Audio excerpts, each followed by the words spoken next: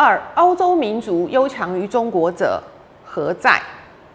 欧洲民族所以优强于中国者，原因非一，而其富于进取冒险之精神，待其有要者也。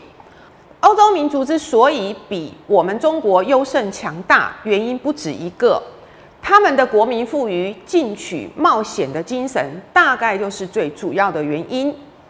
接着，梁启超列举了西方历史中著名的人物和他们的事迹，作为论证事例。例如，西班牙之哥伦布士，日耳曼之马丁路德。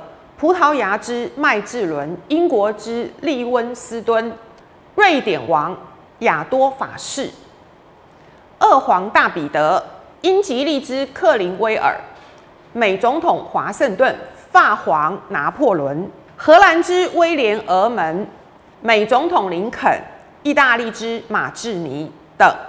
后世读史者，亦其分，及其流，崇拜而歌舞之。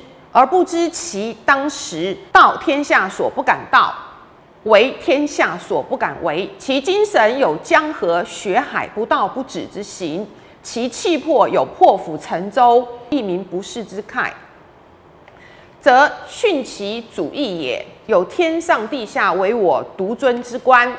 其象其前途也有鞠躬尽瘁、死而后已之志。其成也何脑筋？以买历史之光荣，其败也奉鲜血以赎国民之臣也。呜呼！何克有此？曰：为进取故，为冒险故。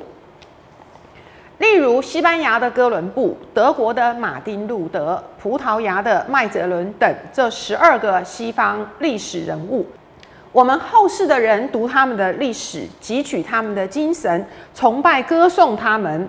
而不知道他们在当时敢于说别人不敢说的话，敢于做别人不敢做的事。他们的精神是不达目标不罢休，他们的气魄是破釜沉舟不怕牺牲。他们为他们所信仰的而牺牲，有天上地下唯我独尊的观念。